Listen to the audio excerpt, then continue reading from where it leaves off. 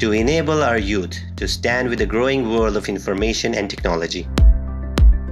A student is required 12 years of education to get admission in 4 years degree software engineering program.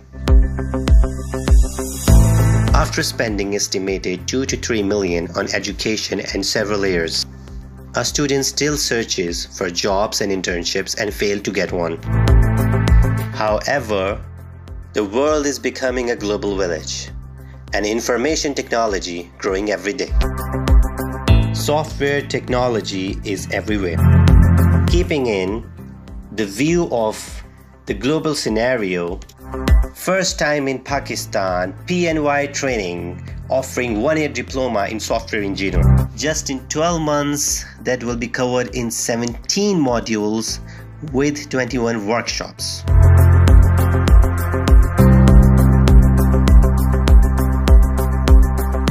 DSE is a life-changing course, but unfortunately our education system still follow the same typical VETA system, uh, which is quite different with our professional track.